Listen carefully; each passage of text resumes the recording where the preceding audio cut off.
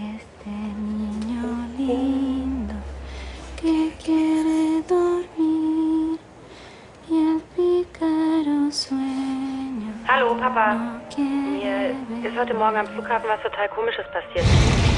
Ich habe ein Kinderlied wiedererkannt.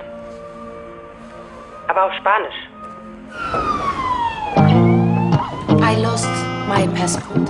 My embassy said, go to the police, I need a paper. Yes, passport stolen. Name? Maria. Papa? Was, wie kommst du denn hierher?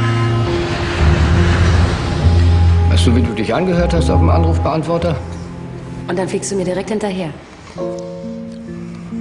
Hatte ich früher als Kind mal so eine. Kommt mir total bekannt vor. Es war mir eine Ehre. Maria? Alejandro. Wir müssen zusehen, dass du so schnell wie möglich wieder weiterreisen kannst. Es geht doch nicht, dass du hier drei Tage festsitzt. Warum lenkst du jetzt ab? Ich lenke nicht ab.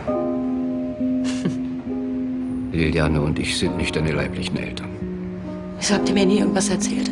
Wir dachten, dass es so besser für dich ist. Während der Diktatur haben die Militärs wahllos Leute verhaftet.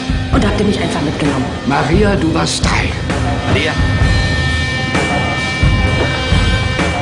Kannst du mit mir zu meiner Familie gehen zum Übersetzen? Ist Anton Volkenmeier hier in Buenos Aires?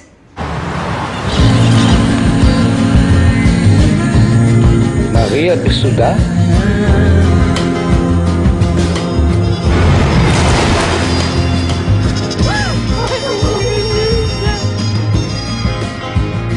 Ich stelle nicht so viele Fragen wie du.